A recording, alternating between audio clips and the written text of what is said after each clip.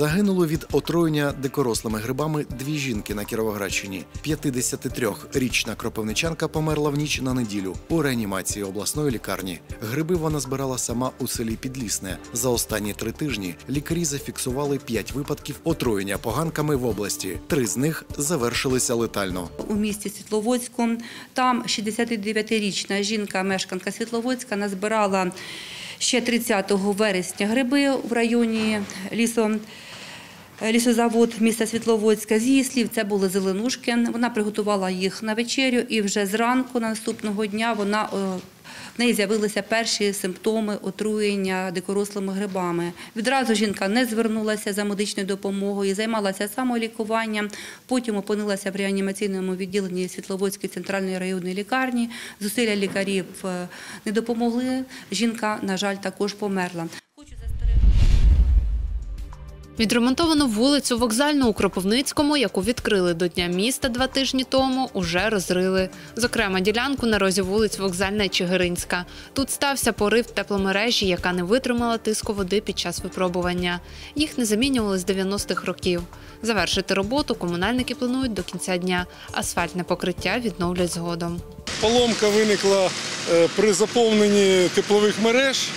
Е, У нас же літом гарячої води немає, і коли ми проводили іспити, тут порива не було. Але в зв'язку з тим, що вода е, має велику кількість кислорода, е, вона знутрі трубопровод їсть.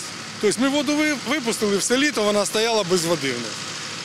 І от коли почали набирати воду, опалювальний сезон вже через неділю, потекли оба трубопроводи.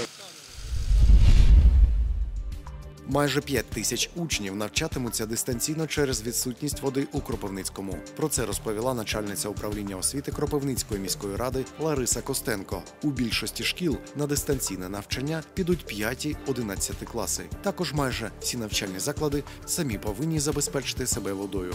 Для підвезення води для приготування їжі необхідний е, спеціальний транспорт, і е, такого транспорту не, недостатньо для того, щоб задовольнити всіх бажаючих.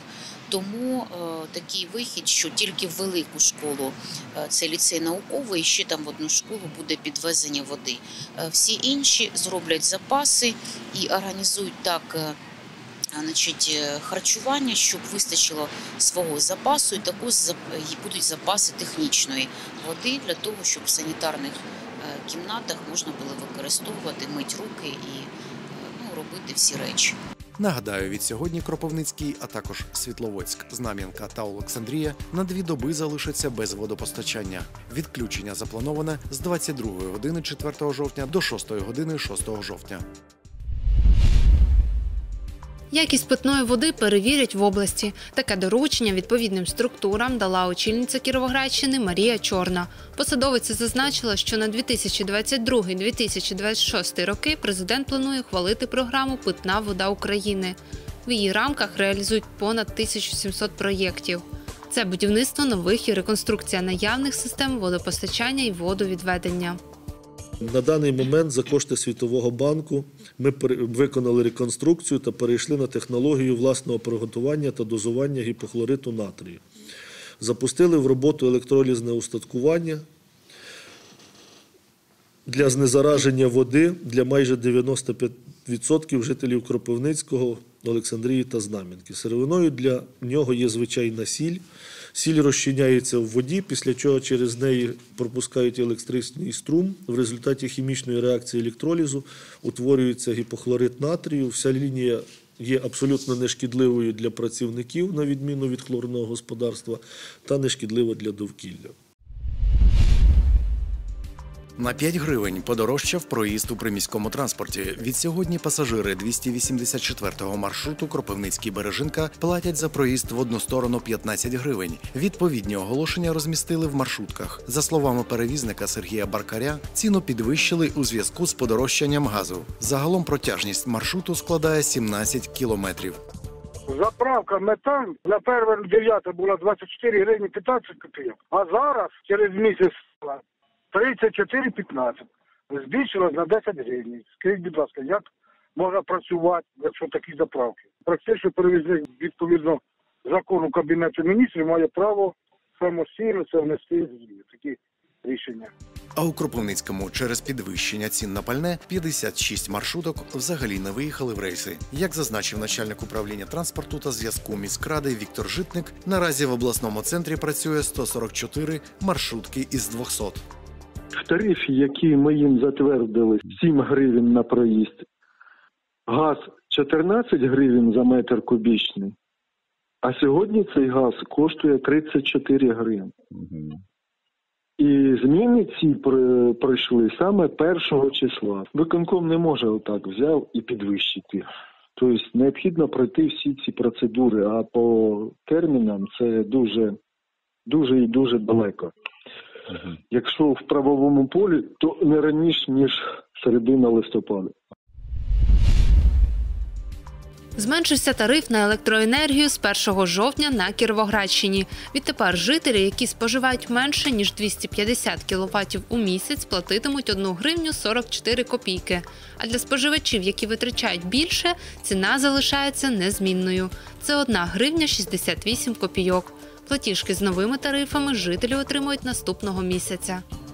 Эта цена распространяется на все категории потребителей вне зависимости от потре- э, есть ли электроотопление или нет электроотопления и так далее. Поэтому на сегодня для тех, у кого есть электроотопление, единственный способ сэкономить и оптимизировать свои затраты – это ставить двухзонные счетчики.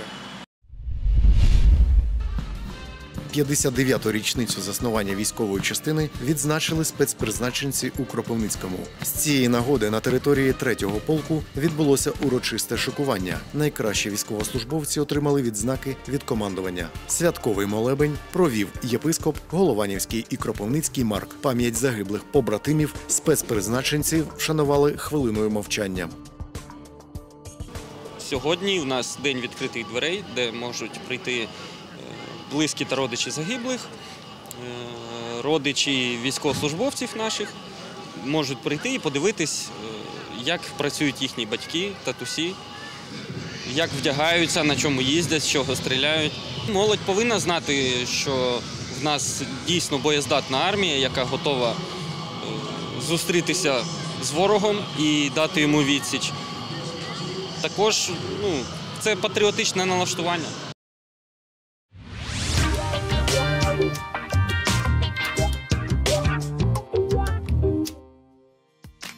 5 жовтня, за даними синоптиків, нас очікує малохмарна погода без опадів.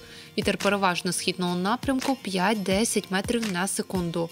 По області температура повітря в день становитиме від 14 до 19 градусів тепла, вночі від плюс 1 до плюс 6 градусів. На поверхні ґрунту заморозки. У Кропивницькому в день очікується 15-17 градусів вище нуля, вночі від 2 до 4 тепла.